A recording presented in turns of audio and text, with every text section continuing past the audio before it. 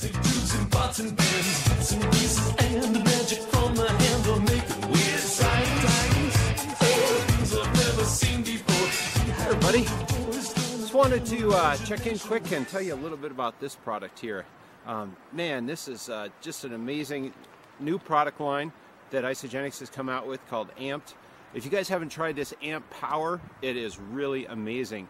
Uh, it has what's called um, creatine in it, which is basically a building block for an energy compound called ATP. So, what I was thinking about as I was hiking up here in the snow was um, just that snow. So, if you think of creatine as kind of being that, that precursor, that building block, let's think about what it takes to make a snowball, okay?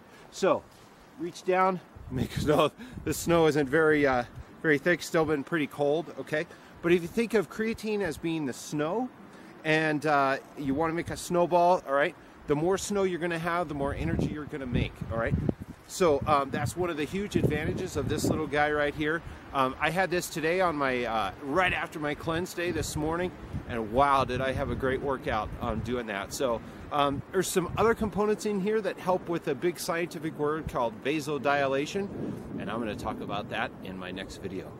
Thanks for watching, everybody. I'm Rick the Science Guy. Have a great day. Never seen before. Behind both the doors, still an imagination.